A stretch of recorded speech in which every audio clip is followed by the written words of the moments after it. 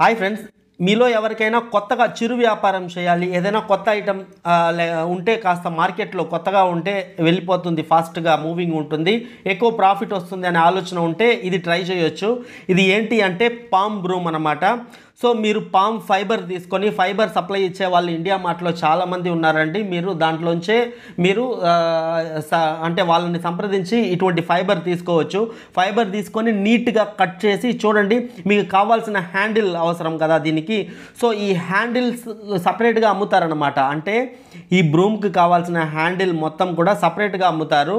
అవి కూడా ఇండియా మార్ట్లోనే ఉంది. చూడండి అవి తీసుకొని మీరు జస్ట్ అంటే ఒక మ్యానుఫ్యాక్చరింగ్ యూనిట్ టైప్లో పెట్టుకొని లేడీస్ సరిపోతారు దీనికండి. ఈ మొత్తం కూడా ఇటువంటి ఇటువంటి తయారీ మొత్తం కూడా లేడీసే పెట్టుకుంటారు వర్క్కి సో మీరు ఒక నలుగురు ఐదుగురిని పెట్టుకొని స్టార్టింగ్లో ఈ విధంగా మీరు అంటే జస్ట్ కట్ చేయడం నీట్గా కట్ చేయడము ఈ విధంగా మీరు అటాచ్ చేసి దానికి ఒక స్టిక్ పెట్టేయడం అంతే అనమాట సో ఈ ఈ విధంగా చేసి మీకు అంటే ఒక మార్జిన్ పెట్టుకొని మీరు హోల్సేల్ వాళ్ళకి ఇస్తే వాళ్ళు రిటైల్ షాప్ వాళ్ళు ఉంటారు కదా వాళ్ళకి వాళ్ళు సప్లై ఇచ్చుకుంటారనమాట మీరు డైరెక్ట్గా వెళ్ళి ఇవ్వాల్సిన పని లేదు.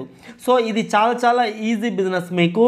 నెక్స్ట్ ఇది ఎకో ఫ్రెండ్లీ అనమాట పర్యావరణానికి ఎటువంటి హాని కలిగించదు. ప్లాస్టిక్ కాదు చూడండి. నీట్గా ఉంది చూడడానికి కూడా. సో ఎవరు చూసినా కూడా తీసుకుంటారు ఇది.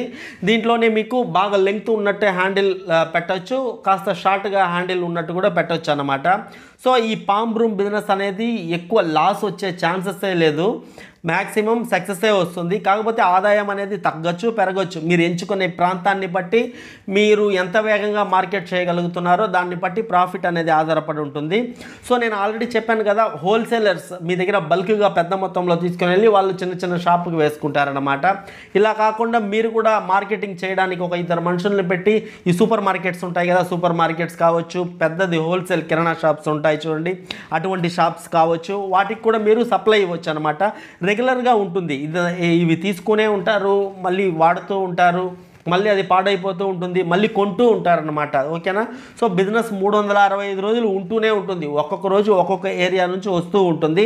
సో చూడండి ఫ్రెండ్స్ ఈ పామ్ ఫైబర్ ఈ బ్రూ పామ్ బ్రూమ్కి కావాల్సిన ఫైబర్ సప్లై ఇచ్చే వాళ్ళు ఇండియా మార్ట్లో ఉన్నారు.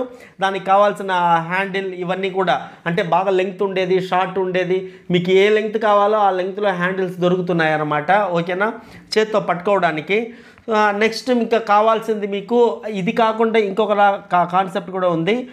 ఆల్రెడీ తయారు చేసి అమ్మే వాళ్ళు ఇండియా మార్ట్లో ఉన్నారు. వాళ్ళ దగ్గర తీసుకొని మీరు ఒక చిన్న మార్జిన్ పెట్టుకొని మీరు లోకల్గా షాప్స్ మొత్తం కూడా మీరు తిరిగి మార్కెటింగ్ చేసుకోవడం మీకు కానీ కాస్త ఓపిక ఉంటే ఆటోమేటిక్ ఆ విధంగా కూడా చేయొచ్చు అనమాట కాకపోతే మీరు తిరిగి కిరాణా షాప్స్ అన్ని షాపులకి మీరు మార్కెటింగ్ చేసేటప్పుడు మీకు ప్రాఫిట్ అనేది తగ్గొచ్చు. ఓకేనా?